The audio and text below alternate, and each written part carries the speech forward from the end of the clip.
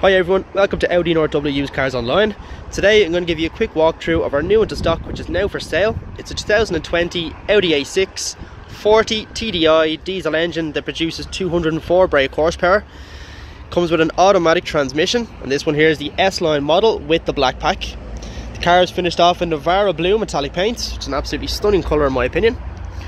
We start off on the front here. As you can see we've got the black surrounding on the single frame front grille with the four iconic rings of Audi got LED headlights with front parking sensors, 20 inch upgraded S-Line alloy wheels with the S-Line badge there on both sides of the car.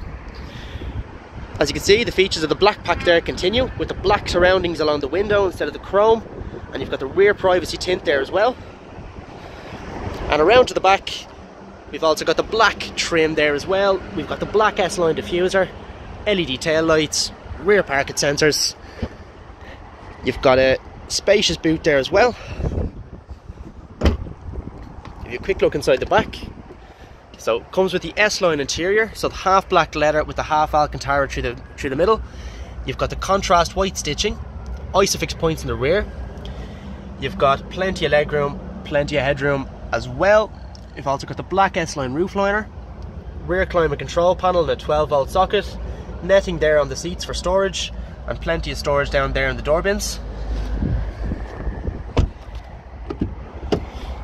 Just into the front, we've got the door locks, electrically adjustable heated folding mirrors, electric windows all around, your child lock, tailgate release, S-Line side step.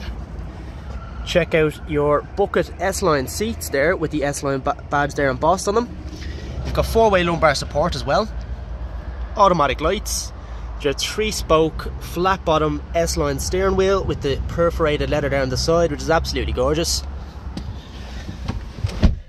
just over 27,000 kilometers on the clock. You've also got cruise control fitted down here.